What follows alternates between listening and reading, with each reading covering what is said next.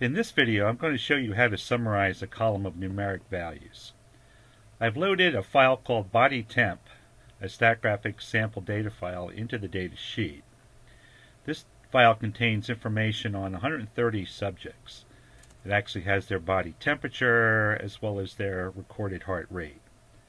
We're going to concentrate right now on the column called temperature to see what the distribution of body temperatures is amongst these subjects.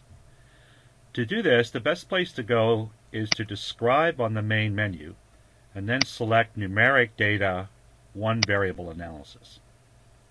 Like all procedures in StatGraphics, this procedure begins by displaying a data input dialog box. All you need to do here is select temperature and then press the black arrow to put that column name into the data field. I'm going to leave the select field blank Select fields are used to select subsets of the data. For example, if I only wanted to analyze the data for the males, I could go to the select field and type gender equals double quote M-A-L-E double quote, which would tell it to just select the data for the males. When you do this, be careful. Whatever you type within double quotes is case sensitive. Variable names are not, so I don't have to worry about temperature and gender, but whatever you type within the quotes, uh, you have to type it exactly as it appears in the data sheet. I don't want to do this, so I'll blank that out uh, and tell it to analyze the entire data column. When I then press OK, I'll see a list of different tables and graphs that are available in the one variable analysis procedure. The one I want to look at in this video, actually I'm going to look at four, scatter plot, box and whisker plot, frequency, histogram, and quantile plot. So I'll check those four and press OK, at which point a new analysis window will open up. The analysis window has two text panes on the left, four graphics panes on the right. These are splitter windows, and you can double click on any graph to maximize it, double click again to put it back. The graph in the upper right corner is the scatter plot. I'll double click to make it large. What you see here is all the recorded body temperatures for 130 individuals plotted along the x-axis. Along the y-axis, the points have been jittered and that's a fancy term for randomly scattered. The point of the graph here is that you can see all of the observations and you get a sense of where they're most dense. In this case, between about 97.5 and 99 degrees. Incidentally, you can control the amount of jitter on any graph by going up to the Analysis toolbar. That's the lower of the two toolbars and pressing the button with the four arrows. This will bring up a dialog box that controls the amount of jitter in both the horizontal and vertical directions. Right now it's jittered a maximum amount in the vertical direction.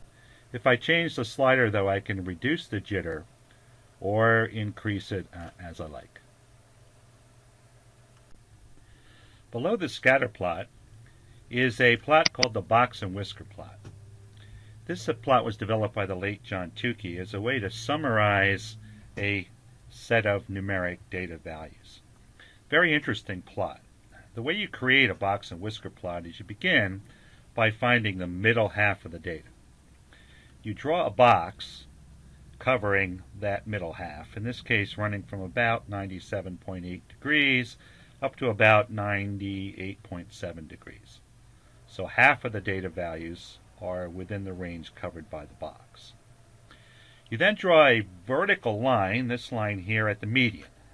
The median is the value that divides the data in half.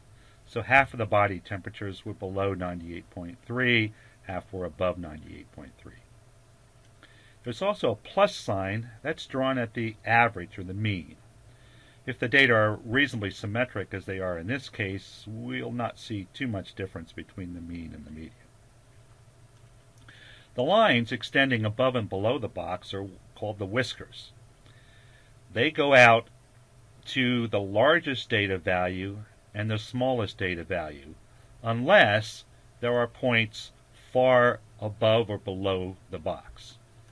In fact, Professor Tukey defined what he called outside points as points that were more than one and a half box widths, either above the box or below the box. So in this case, it turns out that there are three points, three outside points. Now in StatGraphics, whenever you see a point, you can take your mouse and hold the left button down on that point, and it will indicate the row in the data file, uh, in this case row 15, corresponding to that point. So the subject in row 15 evidently had a body temperature of 100.8 degrees, which is unusually far from the box, from the bulk uh, of the measurements. Now, Tukey defined actually outside points and far outside points. Outside points are one and a half box widths or more away from the box. Far outside points would be points three or more box widths away from the box. Now we don't have any of those, but they would be shown actually as squares with plus signs in the middle. When I talk about identifying outliers, far outside points, points showing up three or more box widths away from the box, are very likely to be outliers, at least if the rest of the data are reasonably symmetric. The third graph that I created was a frequency histogram. If I double click on that to make it large, you'll see a fairly traditional plot. A histogram takes the range of the data, in this case uh, temperature between let's say 96 and 102, divides it into equal length non-overlapping intervals, and then plots bars to indicate how many observations fall within each of those intervals. By default, StatGraphics will create a number of bars based upon how much data you have. You can always override the default selections though by taking your mouse, pressing the right mouse button, which in StatGraphics pulls up a pop-up menu, and selecting Pane Options. Pane Options are options specific to a particular table or graph that we're looking at. In this case, since the data uh, have a range of about 6 degrees, Perhaps 30 classes would be better. I'll put in 30, press OK, and now the intervals match up with the tick marks. The purpose of the graph, incidentally, is to give you a good idea of what the distribution of the observations looks like. And you can almost see that well-known bell-shaped curve uh, as you look at this particular data. The final graph I want to look at here is called a quantile plot. I'll double click on that to make it large. What a quantile plot does is shows you what's called the cumulative distribution of the observations. As a function of temperature, it shows you the proportion of the observations at or below particular values of temperature. Now this is a good place actually to press the right mouse button, which brings up that pop-up menu, and select Locate.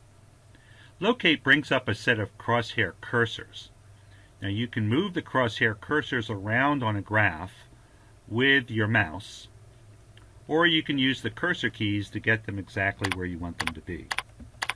Basically, I'm going to line up the crosshairs here at 98.6, and you can see it indicates that about a proportion of 0.694, or about 69 and a half percent of the data were at or below 98.6 degrees.